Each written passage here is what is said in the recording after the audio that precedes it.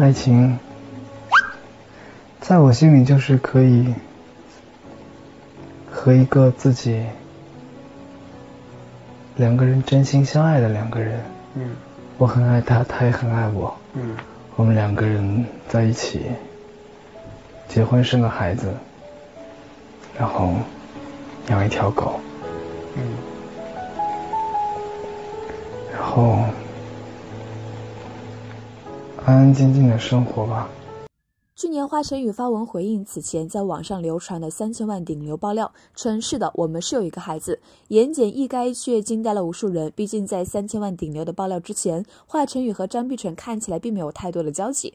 在华晨宇简单明了的承认自己有一个孩子之后，张碧晨也出面回应，长文解释了自己和华晨宇以及孩子的由来，称自己在二零一八年秋天就发现自己怀孕了。那时虽然跟华晨宇在一起，但两个人呢从来没有想过生孩子。但他们又十分的想要这个孩子，所以在那个情况下选择没有告诉华晨宇她已经怀孕了，然后独自离开。也就是在张碧晨怀孕之后，两个人分开了很长的一段时间。张碧晨称当时是他主动断了联系，华晨宇根本联系不到他。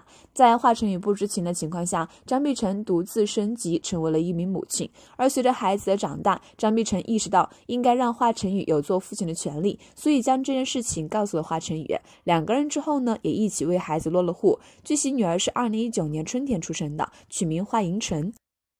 自官宣有一女后，华晨宇和张碧晨也就各自忙碌，看上去鲜少产生交集。两个人表示会共同尽到养育女儿的责任，只是对外呢始终标榜单身。华晨宇给人的感觉是一个悲观主义者，相信华晨宇的忠实粉丝对于他的歌曲都能有所理解。很多人都说华晨宇的童年创伤是无法治愈的，他的内心曾被很严重的伤害过，从小父母又离异，华晨宇可以说从未感受过家庭的温暖，所以一直以来他对待婚姻感情也是很不看好的。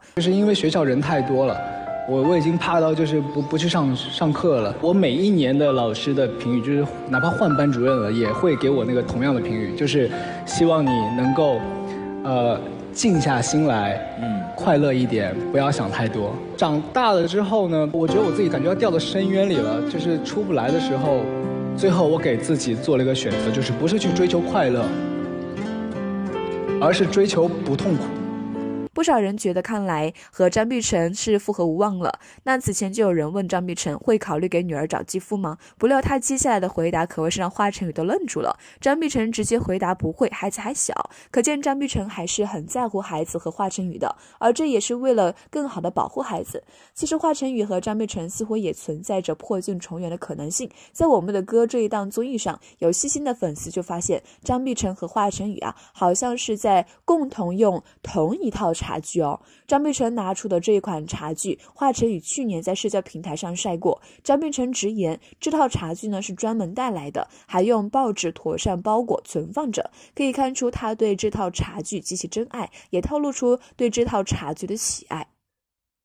网友们放大细节进行比对，从造型到材质纹理都可以确定，张碧晨带来的茶具和华晨宇使用的是同款，连唯一的花纹图案都是一模一样的。凑巧的是，这款茶具呢还是限量版的款式，名字更是颇有寓意，誉为一心一意。这或许就是对外释放了一个好的信号，就如张碧晨所说的那样，未来还会去重新磨合。最重要的是让孩子感受到爱，感受到家的温暖。这样看，或许两个人会复合呢。如果真的重新走到一起，那么同款茶具就是最好的解释了。仔细品品还是很甜的。玻璃网，我带的这一套茶壶是是瓷的，不是，这两个是一套，是一套。那我特别喜欢，这是一个牌子，我特别喜欢喝他们家茶叶。我还下棋呢，我。真的。下象棋，下围棋。他们有时候会过来找我，然后喝喝茶，下下棋这样的。有时候跟他们一起下象棋，有时候下围棋。不过，因为之前突然产女一事，对双方的事业都造成了一定的影响。